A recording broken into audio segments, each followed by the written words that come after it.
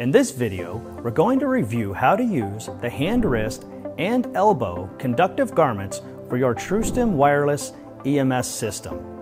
We're going to start with the hand wrist. For the hand wrist garment, we're going to require a receiver and one of our connector wires. We're going to first power on our receiver, connect our connector wire to the receiver, then connect our receiver to one of the snap connectors on the garment. The other end of our wire we will connect to the other snap connector.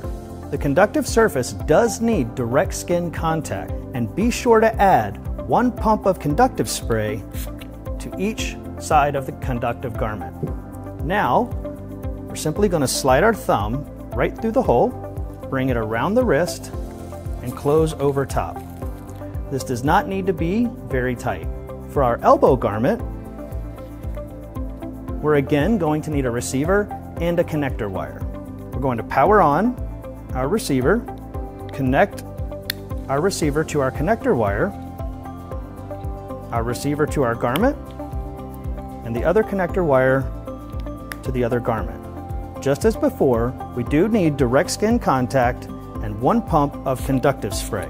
Now, placing the elbow directly in the garment, we're going to bring the strap around and close.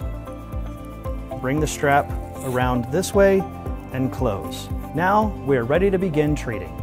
Please refer to our full instructional video on the TrueStim wireless EMS system. And remember, treat, recover, prevent.